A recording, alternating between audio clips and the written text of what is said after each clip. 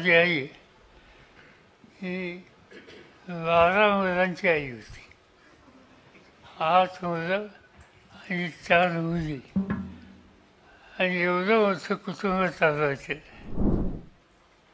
या सगळ्या मुलांना शिकवायचं हा नेता त्यांनी केलेला होता. सात दिवसाची बालकाला घेऊन बैठक अटेंड करणं ही काही साधी गोष्ट नाही. त्या काळात साधलं नव्हती. आणि त्या बालकाचं नाव शरद पवार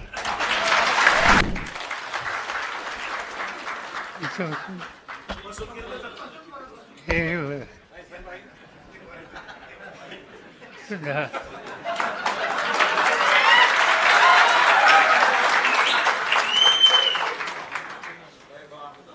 शिट्टी कोणी वाजवली साहेब आज शारदाबाई पवारांचा स्मृती दिन आहे. सकाळी आम्ही त्यांना आदरांजली वाहिली. छत्रपती शिवाजी महाराजांच्या आई जिजाबाई यांनी जसं त्यांना एक विचार आणि प्रेरणा दिली होती तसं आपल्याला असं कुठलं मूलमंत्र किंवा प्रेरणा आणि विचार दिले हे आपण सांगावं कारण प्रत्येकाला जाणून घेण्याचं आहे की बाईंनी आपल्याला कसं घडवलं कसं विचार दिले कशी प्रेरणा दिली. असं आहे की माझी आई ही बारा मुलांची आई होती. आठ मुलं आणि चार मुली. आणि एवढं मोठं कुटुंब चालवायचं. जमीन सगळी म्हणून साडेआठ एकर. शेती करून या सगळ्या मुलांना शिकवायचं हा निर्धार त्यांनी केलेला होता. एकोणीसशे छत्तीस साली त्या काळात निवडणुका आता जी जिल्हा परिषद आहे त्या काळात लोकल बोर्ड नावाची संस्था होती.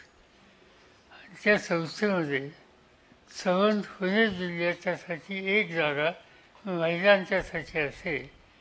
आणि त्या जागेवर माझ्या मातीने निवडणूक लढवली आणि त्या अविरोध निवडून आल्या. आणि निवडून आल्याच्यानंतर नित्यानं इथं लोकल बोर्डाच्या बैठकीला येत असत येत असताना त्यांचं वैशिष्ट्य होतं की बैठक कधी चुकवायची नाही वेळ कधी चुकवायची नाही. त्या काळात एस वगैरे काही नव्हती. एक दत्त सर्व्हिस नावाची ट्रान्सपोर्ट कंपनी असायची. त्यांनी जाणं येणं असायचं. आणि वेळेचं महत्त्व दिवसाचं महत्त्व याचं एकच उदाहरण त्यांचे द्यायचं झालं. तर त्यांच्या एका मुलाच्या जन्माच्या नंतर सातव्या दिवशी लोकल बैठक होती. तर ते सात दिवसाचा अपत्य बरोबर घेऊन त्या सार्वजनिक बस ते इथं आल्या आणि त्यांची बैठक त्या ठिकाणी अटेंड केली. सात दिवसाची बालकाला घेऊन बैठक अटेंड करणं ही काही साधी गोष्ट नाही. त्या काळात चाललं नव्हते. आणि त्या बालकाचं नाव शरद पवार.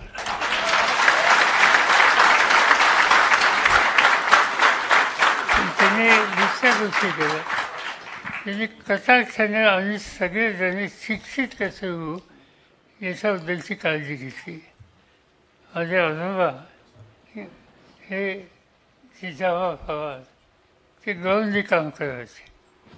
माझे वडील एका सरकारच्या संस्थेमध्ये म्हणजे नोकरीला होते. फार मोठ्या जागेवर नाही. आणि एवढं मोठं घर. तर मातोश्रींनी आमच्यापैकी प्रत्येकाला शिकण्याच्या संबंधीचं कटाक्षाने बालकांनी लक्ष देऊन खबरदारी घेतली. मोठे बंधू हयात नाहीत. ते विकाम झाले. त्यासाठी त्यांना शिक्षण घ्यायला शहाजीराव महाराजांच्या वडिलांमधल्या तिथल्या संस्थेमध्ये जावं लागलं. तिथून ते नाव राज्य झाले. पुणे जिल्ह्यात एक चांगले वकील होते. नंबर दोनचे बंधू. त्यांचं नाव दिनकरराव पवार. हे शेतीच्या क्षेत्रातले अत्यंत जाणकार होते. महाराष्ट्रात सहकारी कारखानदारी उभी करण्याच्यामध्ये त्यांचं योगदान होतं. आणि पाणी शेती आणि आधुनिकता या संबंधीचे ज्ञानी ग्रस्त होते. भारत सरकारने त्यांना पद्धती दिली. अप्पासाहेब पवार म्हणून त्यांची ओळख ही महाराष्ट्रामध्ये होती. तिथे अनंतराव अनंतराव म्हणजे सध्याचे जे अजित पवार आहेत त्यांचे वडील. अनंतराव हे शेती करत होते. शेती करण्याच्या आधी इथं एका कॉलेजमध्ये शिकत होते. आणि कॉलेजमध्ये शिकत असताना काहीतरी प्रश्न त्यांनी विचारला प्राचार्यांना तर प्राचार्यांनी त्याचं उत्तर देताना असा प्रश्न तू विचारतो याचा अर्थ मेंदू तुझ्या डोक्यात नाही तुझ्या आणखीन तुझं असेल असं काहीतरी उत्तर दिलं. आहे आणि असं उत्तर दिल्यानंतर ते थोडं शीघ्र खुशी होते. त्यांनी काहीतरी प्राध्यापकांना उलट उत्तर दिलं. आणि त्या उलट उत्तराच्यासाठी त्यांना कॉलेजमधनं बाहेर काढलं. बाहेर काढल्याच्या नंतर आमच्या आईला अजिबात आवडलं नाही. ते तुझं शिक्षण पुरं करायला पाहिजे होतं. तू तेव्हा पुरं होत नाही तोपर्यंत घरी येऊ नको म्हणून सांगितलं. ते इथून मुंबईला गेले. कोणतरी मित्र होते. त्या मित्रांच्या बरोबर ही शांतारावांचा स्टुडिओ आहे. राजकवी म्हणून त्या राजकवी स्टुडिओमध्ये त्यांना फोटोग्राफी त्यांचेच होता. ते काम प्रशिक्षित म्हणून प्रशिक्षणासाठी करू लागले नंतर त्याच्यात त्यांनी बरंच ज्ञान संपादन केलं. यशस्वी झाले. आणि नंतर आम्ही सगळ्यांनीच आग्रह केला आईला. त्यांना बोलवा. आणि त्यांना बोलवलं. आणि घरीची शेती ही सगळी बघायला लागली. त्याच्यानंतर माधव म्हणून ती आता हयात नाहीत. ते इथं इंटर सायन्सला क्लास मिळाला नाही. त्यामुळे पुढे इंजिनिअरिंगला जाता आलं नाही. आणि म्हणून इथं नोकरी केली तहसीलदार ऑफिसमध्ये कारकून म्हणून. आणि आठ महिने म्हणजे नोकरी करून जे पैसे मिळवले त्या पैशांनी मोतींनी इंग्लंडला गेले. तिथं नोकरी केली. तिथं मेथॉलॉजीचं एज्युकेशन केलं इंजिनियर झाले आणि परत तिथे येऊन स्वतःचा व्यवसायाने इंडस्ट्री काढली त्यानंतर सूर्यकांत तेही इथं आर्किटेक्ट झाले इंग्लंडला गेले आणि इंग्लंडला जाऊन त्या ठिकाणी मास्टर डिग्री आर्किटेक्ट आणि टाऊन प्लॅनिंग ही केली आणि त्याच्यानंतर इथून त्यांनी व्यवसाय केला अजून तेव्हा ते इंग्लंडात असतात. त्यांची पत्नीसुद्धा इंग्लिशच आहे आणि त्यानंतर आमच्या घरात एक शिक्षणाकडे दुर्लक्ष करणारा शिक्षण सोडून वाटेच्या उसाफतीत लक्ष घालणारा असे एक चिरंजीव होते. त्यांचं नाव शरद पवार. तिथे असे या वाटेच्या सगळ्या गोष्टीत करत होते. आणि शेवटचे माझे बंधू प्रताप पवार ते इंजिनियर होते. आणि आज सकाळ नावाच्या वृत्तपत्राचे त्या संवादाचे चेअरमन आहेत. ही सगळी पिढी तयार करण्याचं काम त्या कर्तृत्वान दूरदृष्टी असलेलं मातीनं केलेली त्यामुळं जीवनाच्या वेगवेगळ्या क्षेत्रामध्ये आम्ही यशस्वी झालो. आणि त्याचं कारण माता माझी आई आणि म्हणून असं सांगितलं की कर्तृत्वाचा मागता फक्त पुरुषाकडे असतो.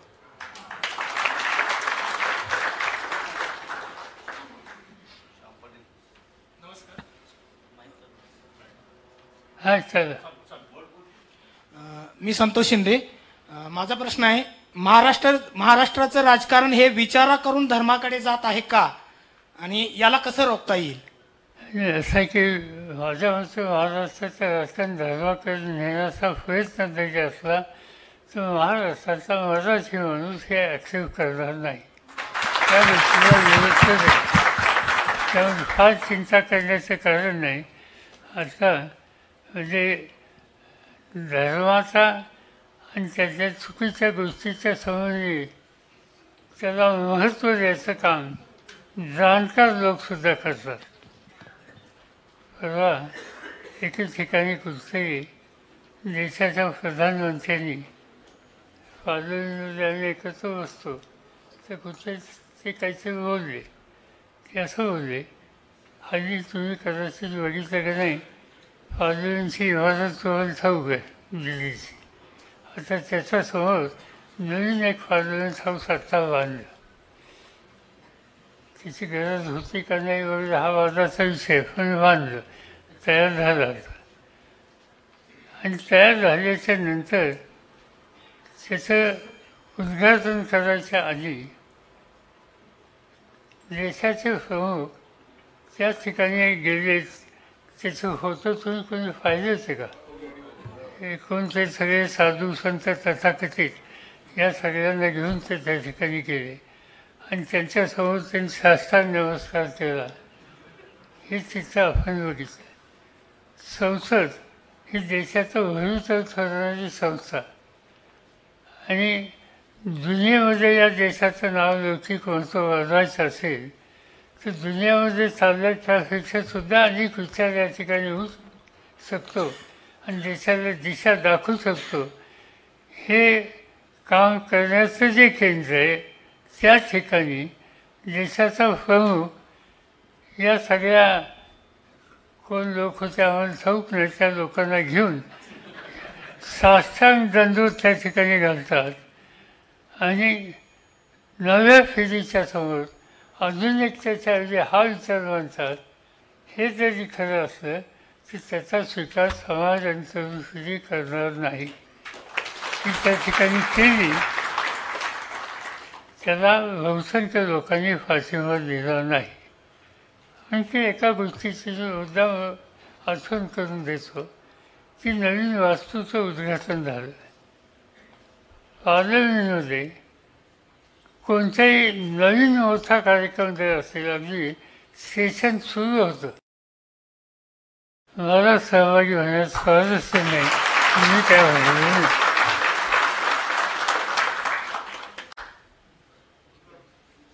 साहेब अनेक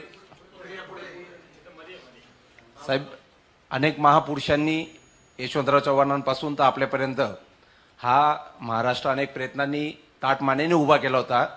आणि या संक्रमणाच्या काळात तो मोडकळीस आणण्याचा प्रयत्न काही शक्तींकडून होतोय आपल्याला कसं वाटतं? आणि याच्यावरती आमची काय जबाबदारी असणार आहे येणाऱ्या पिढींची?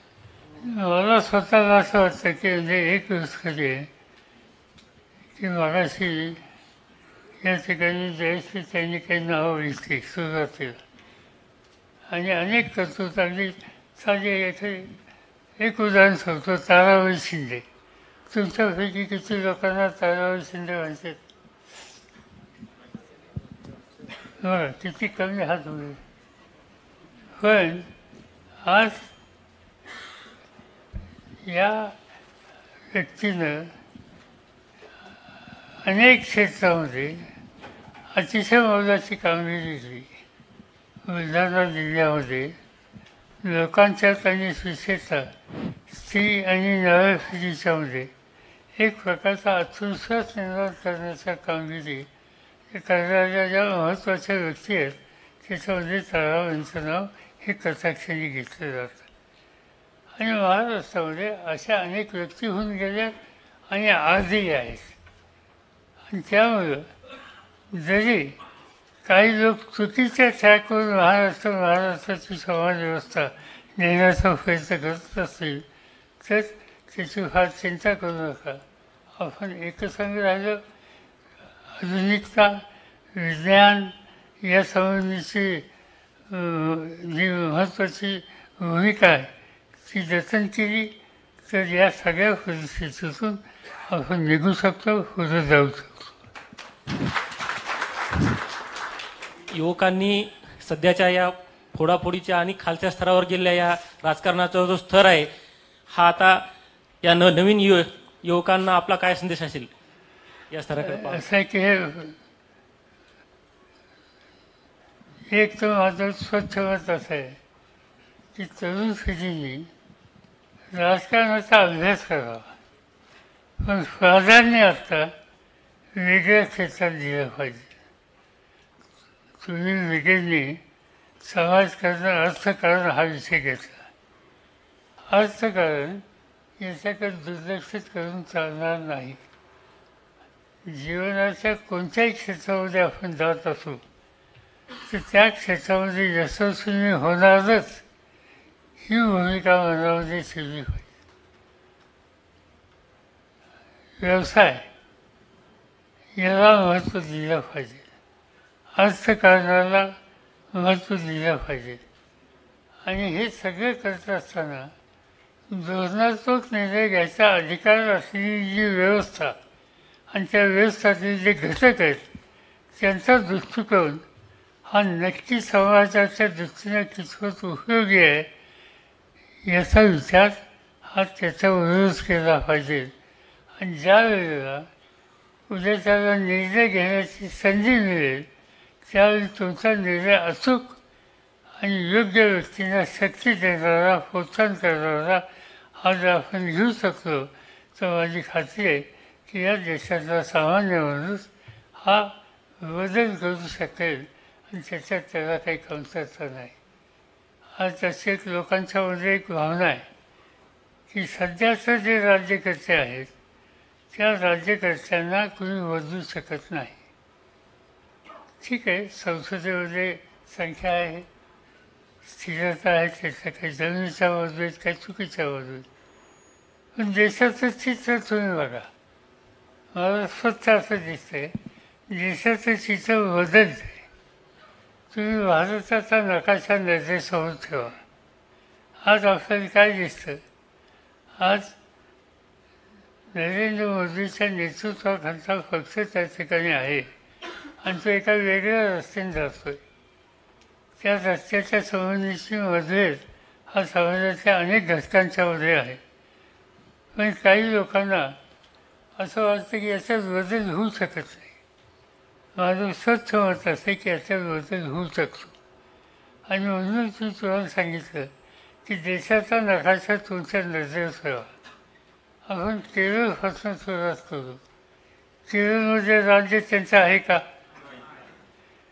नंतर आपण येऊ कर्नाटकामध्ये. तिथं राज्य आहे का? आंध्रमध्ये आहे का? शेजारच्या राज्यामध्ये आहे का? त्याच्यानंतर अं, तामिळनाडूमध्ये आहे का? त्याच्यानंतर तेलंगणामध्ये नाही. त्याच्यानंतर आपण गोवामध्ये आलो. गोव्यात नव्हतं. फोडाफोड करून त्या ठिकाणी झालं. महाराष्ट्र काय कसं झालं आहे तुम्हाला ठाऊक आहे. गुजरातमध्ये आहे आपण मान्य करू मध्य प्रदेशमध्ये नव्हतं. कमलनाथ मुख्यमंत्री होते. फाडाफाडी फोडाफोडी करून त्या ठिकाणी आलं. आपण यू पीमध्ये आहे मान्य करू. राजस्थानमध्ये आहे का? आज तुम्ही नाही त्याचं अलीकडे दिल्ली. दिल्लीमध्ये आहे का? पंजाबमध्ये आहे का? नाही. ओरिसामध्ये आहे का? नाही. झारखंडमध्ये आहे का? तिकडे दोन पश्चिम बंगालमध्ये बघितलं तर एकंदर संख्या जर बघितली तर नाहीच होत. आहे आणि त्यामुळं आज लोकांना बदल हवाय बदल होतोय पण त्या संबंधीची भूमिका आम्ही जे साधन जीवनात काम करू इच्छितो आम्ही लोकांनी एकजुटीनं पुढची पावलं टाकली पाहिजेत. मगाशी वामसेनच्या नेत्यांनी जे सांगितलं त्याचं व्यक्तिगत माझा भाग होता पण आज आम्ही या देशामध्ये लोकांना संघटित करण्याचा प्रयत्न करतो आहे आज देशात दोन भाग झाले जवळपास. आणि एक नवीन भाग आम्ही लोकांनी उभा करण्याचा निर्णय घेतला आहे त्या भागाचं नाव इंडिया. त्या इंडियाच्या नावानं आम्ही विविध विचाराचे लोक समान कार्यक्रमावर आणि देशाला योग्य दिशा देण्याच्या भूमिकेवर एकत्रित येतो प्रयत्न करतो. दोन बैठका आम्ही घेतल्या एक बिहारमध्ये घेतली आणि दुसरी खाली घेतली दक्षिणेमध्ये कर्नाटकामध्ये आणि तिसरी उद्याच्या एकतीस आणि एक तारखेला मुंबईमध्ये घेतात आणि त्या बैठकीची जबाबदारी मी उद्धव ठाकरे आणि काँग्रेस पक्षाच्या नेत्यांनी घेतली.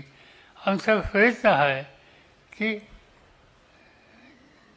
ज्या धोरणात कटाक्षाने बदल करण्याची आवश्यकता आहे जी धोरणं समाजाला मजबूत करण्यासाठी पुढे नेण्यासाठी उपयुक्त होणार आहेत त्या धोरणांचा पाठिंबा देणारे पुष्टी देणारे सगळे घटक आपण एकत्र करूया आणि लोकशाहीमध्ये त्या सामूहिक शक्तीमधून बदल करण्याची ताकद निर्माण होईल ती ताकद निर्माण करूया. आणि त्या कामाची सुरुवात आम्ही लोकांनी केली आहे.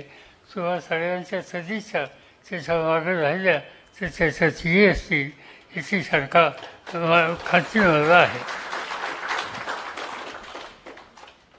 नमस्कार सर. त्यांना त्यांना द्यावं ऐकायचं आदरणीय साहेब तुकडोजी महाराज आणि गाडगे महाराजांच्या जिल्ह्यातनं आदरणीय प्रवीणदादांनी आयोजित केलेल्या कॉन्क्लेव्हमध्ये अमरावतीवरून सहभागी झाली. साहेब जिजाऊ सावित्री रमाई तानुबाई बिर्जे ताराबाई शिंदे. तुकडोजीचं नाव तुम्ही घेतलं अतिशय आनंद आहे. जी. त्याच्याबरोबर हो. भाऊसाहेबांचा खडू गाडगे महाराजांची झाडू आणि तुकडोजींची खंजेरी त्यांच्या. कर्मभूमीला अभिवादन करून आपल्यासमोर बोलायचं धाडस करते साहेब साहेब जिजाऊ सावित्री रमाई तानुबाई बिर्जे ताराबाई शिंदे झलकारीबाई मुक्ता साळवे अगदी रखमाबाई राऊत यांच्यापासनं या महाराष्ट्रभूमीच्या स्वातंत्र्याला एक न्याय देण्याकरिता अगदी लीलाबाई पाटलांपर्यंतच नव्हे साहेब तर कोविडच्या काळात सारं सारं जग थांबलं होतं तेव्हा याच पुण्यातल्या मिनल ढाकवे भोसले पहिल्यांदा कोविडच्या किटवरती शिक्कामोर्तब करते साहेब आणि दुसऱ्या दिवशी एका बाळाला जन्म घालते. तुमच्यासमोर प्रश्न अतिशय महत्त्वाचा करत असताना जेव्हा एखाद्या पुरुषाचा ऍक्सिडेंट होतो साहेब तेव्हा त्याला जेवढ्या वेदना होतात ना त्याच्यापेक्षा कैक पटीने वेदना आम्ही बाळणपण एक नवनिर्मिती करण्यासाठी करतो. तर प्रश्न हा विचारावासा वाटतो साहेब की या महाराष्ट्र निर्मितीसाठी एवढ्या महिला शक्तींनी नि- महत्वाची भूमिका बजावल्यानंतर कित्येक सत्ता आल्यात आणि गेल्यात तरी सुद्धा इथल्या सत्ताधाऱ्यांना एकदाही या महाराष्ट्र भूमीला महिला मुख्यमंत्री का द्यावीशी वाटली नाही?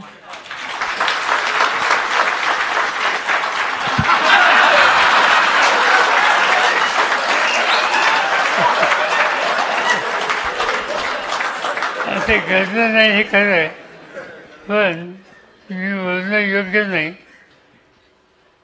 पण महिलांना वेगवेगळ्या क्षेत्रामध्ये कायद्याने घटनेनं अधिकार मिळाला पाहिजे. या संबंधीचं देशातलं पहिलं महिला धोरण महाराष्ट्रात घेतलं गेलं. मान्य साहेब. पण बघा ना साहेब. आणि त्याचा परिणाम हा नक्की झाला. पण तो एका विशिष्ट लेवलपर्यंत झाला. नगरपालिका असोत महानगरपालिका असोत आज पन्नास टक्के भगिनी त्या ठिकाणी दिसतात. निम्म क्षेत्र निम्म अंतर आपण गाठलं. आता त्याचं पुढचं गाठायचं. आणि ते गाठण्याच्यासाठी नक्कीच तुम्ही सांगताय तो प्रयत्न आम्हाला लोकांना करावा लागेल आणि ती करण्याची भूमिका आमची असेल. जी साधी गोष्ट सांगतो. आज देशाच्या फाळणीमध्ये माझा पक्ष लहान आहे. पण त्याच्यामध्ये आमच्या संख्येमध्ये काही महिला आहेत. आता तुम्ही कदाचित वंदना चव्हाण नाव ऐकलं असेल. अतिशय उत्तम कॉन्ट्रिब्युशन त्यांचं फाळणीमध्ये असतं. आणि दुसऱ्या फौजिया खान म्हणून परभणीच्या स्पीकरने काही वेळेस सांगितलं की या दोन्ही भगिनींचं कॉन्ट्रिब्युशन अनेक सभासदांच्या भाषा अतिशय उच्च दर्जाचं असतं.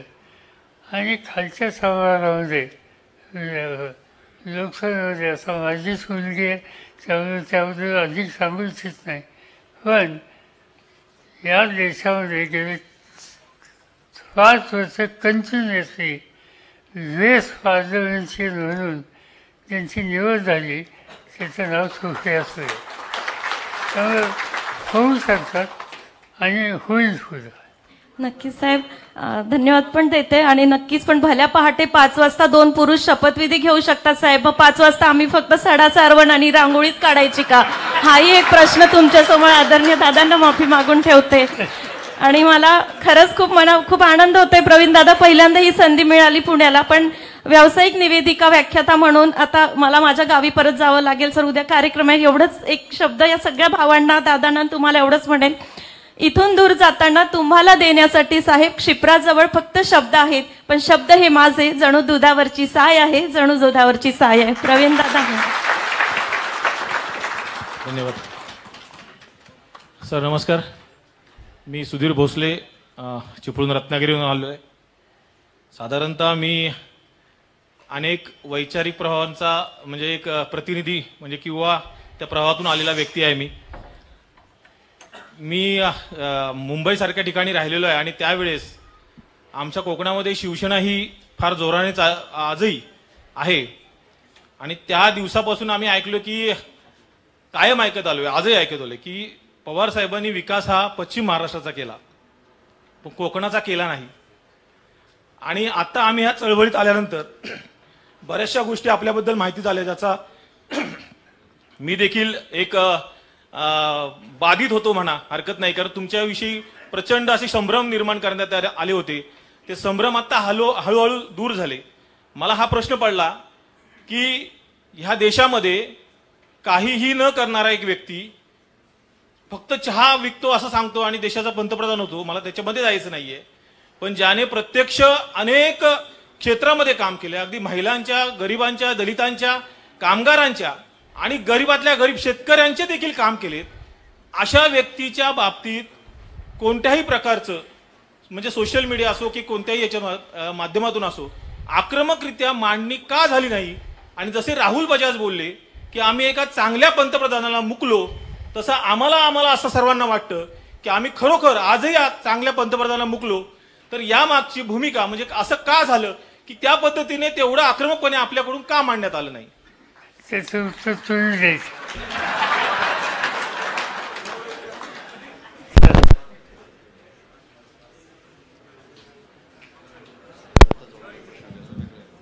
होय. शेवटचा प्रश्न आहे हा साहेब. एक गोष्ट सांगायची झाली गेले काही दिवस माझा घसा बसला बसला त्यावर थोडं माझं बोलणं थोडं स्पष्ट ऐकू येत नसेल. हा विचार महाराष्ट्र हा अ, सत्यशोधकांच्या परंपरेतला राहुल फुले आंबेडकरांच्या परंपरेतला होता आणि पश्चिम महाराष्ट्राने एक मोठं योगदान दिलं होतं समाज सुधारणेमध्ये आज या पद्धत या परंपरेला थोडंसं खीळ बसल्यासारखी वाटते म्हणून प्रतिगामी शक्ती महाराष्ट्रामध्ये डोकेवर काढते जास्तीत जास्त भोपाळलेले आहे या स्थितीला बदलण्यासाठी आपल्याकडून कोणत्या प्रकारची अभिसरणाची पद्धत सुरू होईल ही अपेक्षा आपल्याकडे असा असं आहे की हा विषय महाराष्ट्रात होता सीमित नाही आहे हा देश पातळी सुद्धा तिथे अनेक राज्यात चिंता वाटावी असं आहे. आणि महाराष्ट्राचं नक्कीच आहे. कारण खुल्या आंबेडकरांचं नाव घ्यायचं आणि वरच्या दिशेला जायचं हे महाराष्ट्रात होत नाही. आता हे करायचं असेल तर तुमची ही जी संघटना आहे ब्रिगेड किंवा तत्सम ज्या संघटना आहेत या सगळ्या अशा संस्थेनं की ज्या संघटना विचार मानतात तो विचार प्रतिगामी विचार नाही त्याच्यावर मात करतात पुरोगामी विचार मानतात कार्यक्रम देतात आणि नवी पिढी त्याच्यासंबंधी जागरूकता निर्माण करते. या दृष्टीनं पावलं टाकल्याशिवाय आपल्याला पर्याय नाही त्याच्याशिवाय आपल्याला दुसरं उत्तर नाही.